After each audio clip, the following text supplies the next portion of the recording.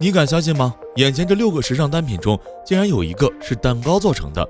这是一项与众不同的蛋糕烘焙大赛，选手们要把蛋糕做成各种不像蛋糕的形状，然后和真正的物品放在一起，看是否能骗过评委的眼睛。每期获胜选手都能拿到最高一万美元的奖金。作为上期的获胜者，乔尼直接拿下了本轮参赛资格，他还可以自主选择两位对手：亚裔女儿阿普和金发女孩妮娜，幸运入选。接下来，他们将通过一个火眼金睛的游戏，来决定谁先挑选要复刻的物品。这六个时尚单品中，只有一个是蛋糕制成的。在二十秒规定时间内，最快从里面找出正确答案的，即可优先选择。一号羊毛衫，二号红色包包，三号手拿包，四号鞋子，五号化妆品袋，六号水桶帽。请问你的答案是什么呢？强尼选择了四号鞋子。可惜这个答案是错误的。另外俩人都选了红色包包，显然他们的眼神更好一些。不过隔着这么远的距离，再加上昏暗的灯光，想要看出破绽真的有些难度。最快选出正确答案的是妮娜，她选择复刻的是三号手包，这个看起来确实最简单。阿普选了四号鞋子，她的丈夫是球鞋迷，家里有一整面鞋墙，所以她对鞋子的细节还是很了解的。强尼最后选了帽子，这个看起来又是很难做的样子。限时八小时的烘焙比赛很快开始，阿普上来就找可可粉，他决定做巧克力软糖蛋糕，里面加覆盆子酱、榛子酱等等。阿普的工作是在加拿大一家公民权益组织当教育主管，和蛋糕制作是完全不沾边儿。蛋糕做这么好，也只是他的业余爱好，只能说又是我来人间凑数的一天呀。上期获胜者强尼准备做肉桂味的甜甜圈蛋糕，兜里揣了一万美元的他，当然还想再揣一万，连赢两期肯定很酷。就看他能不能做到了。妮娜是看台选手们最看好的一位，她设计蛋糕就是为了抒发创意。小龙虾、猫咪、游戏机，这些都是她用蛋糕做成的。她有一家自己的蛋糕店，生意还非常好。妮娜这次要做的也是巧克力蛋糕，但她的蛋糕会带有咸焦糖口味儿。对于手包蛋糕的复刻，她决定在细节上多下功夫。妮娜平时就是个时尚女孩，喜欢各种稀奇古怪的鞋子，对于时尚单品都比较了解。对这次比赛，他也信心十足。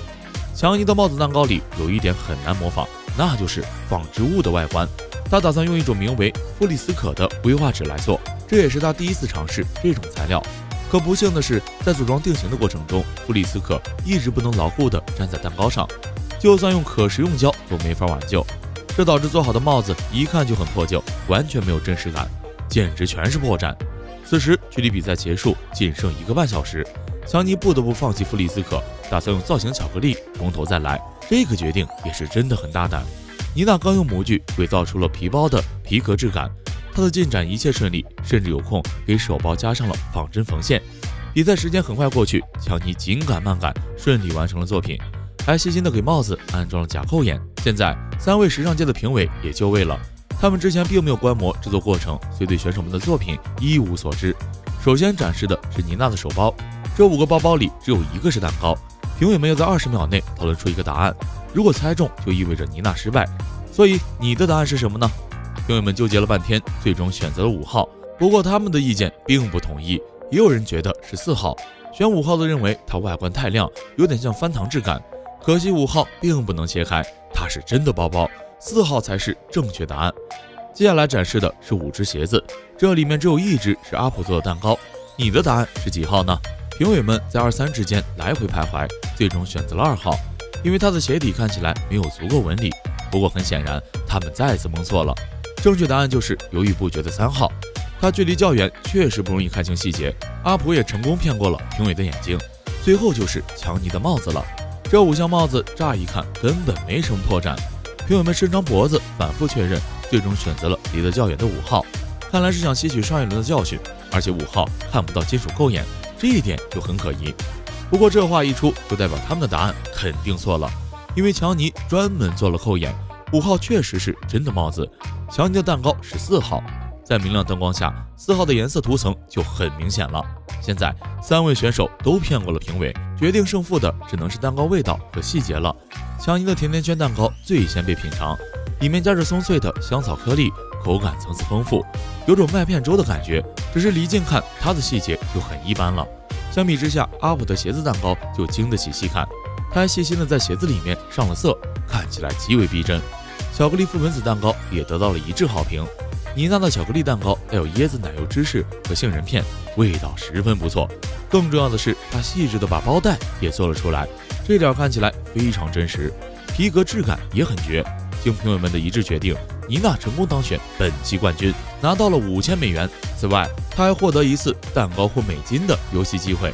这两袋美金只有一袋是真钱，另一袋是仿真蛋糕。而妮娜有十五秒时间锁定答案。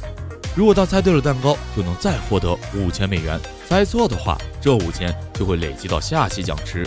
各位，极限二选一，请锁定你的答案。妮娜一点也不确定的选择了二号，他觉得二号袋子有点翻糖的感觉。不过很遗憾，二号确实是真钱，只能说妮娜不够幸运。不过她还是可以直接晋级下一轮比赛，说不定下次奖金还会回来呢。我是拉环，关注建议拉罐，下期更精彩。